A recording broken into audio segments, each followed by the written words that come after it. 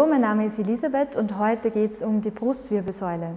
Für die erste Übung rutschen Sie mit dem Gesäß wieder ins vordere Drittel des Sessels, setzen Sie sich aufrecht hin und bringen beide Hände auf Ihre Schultergelenke überkreuzt. Die rechte Hand greift auf die linke Schulter, die linke Hand auf die rechte Schulter. Und jetzt machen Sie ganz kleine Bewegungen nach rechts und links, so wie es Ihnen angenehm ist. Versuchen Sie dabei, das Becken oder die, die Oberschenkel stabil zu halten.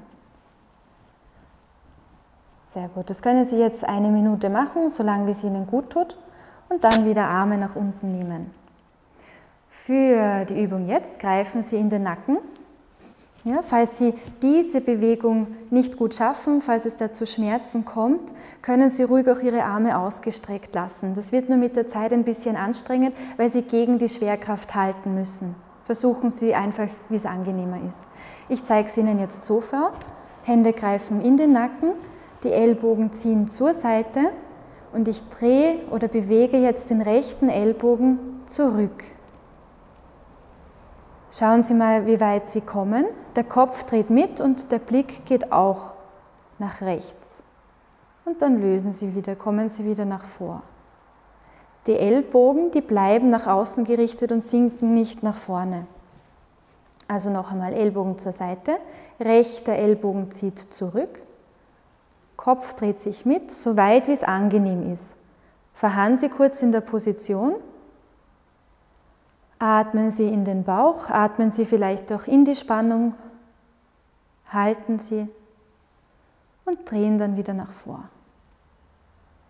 Achtung, Arme lösen und auslockern. Schultergelenk nach hinten, der Schulter nach hinten kreisen. Wunderbar. Wir greifen nochmal in den Nacken, Ellbogen sind zur Seite gerichtet und sie drehen sich nach links. Linker Ellbogen zieht nach hinten, so weit wie Sie schaffen, Blick ist gerade, ähm, Blick ist zur Seite gerichtet nach links und wieder in die Mitte kommen. Achtung, wieder lösen. Schultern zurückkreisen.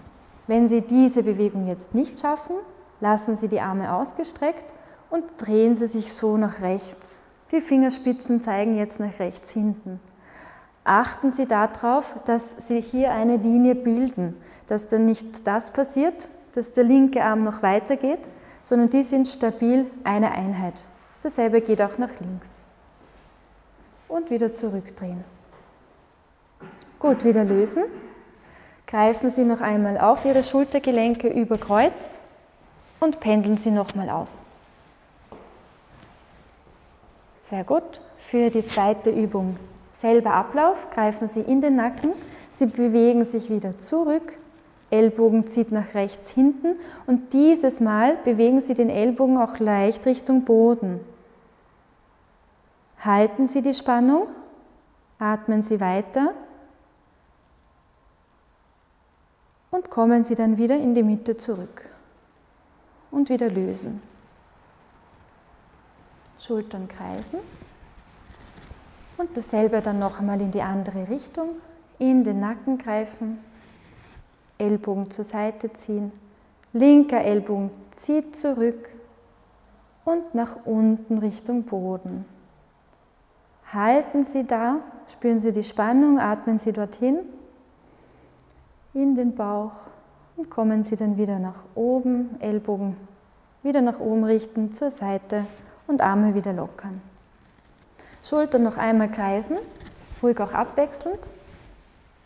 Einmal greifen Sie jetzt noch auf Ihre Schultern überkreuzt und pendeln noch einmal in Ruhe aus. So lang, wie es Ihnen angenehm ist. Schauen Sie auch, wie weit Sie gehen möchten. Zur Auslockerung empfehle ich Ihnen aber nur einen kleinen Bewegungsradius dass Ihr Blick immer nach vorn gerichtet ist. So, das war's für heute mit der Mobilisierung der Brustwirbelsäule. Danke fürs Mitmachen.